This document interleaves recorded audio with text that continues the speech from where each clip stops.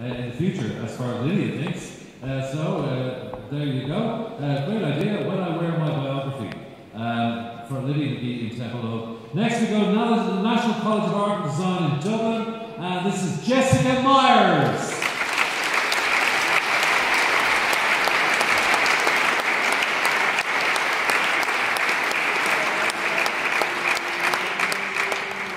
Jessica Myers, well done, Facade.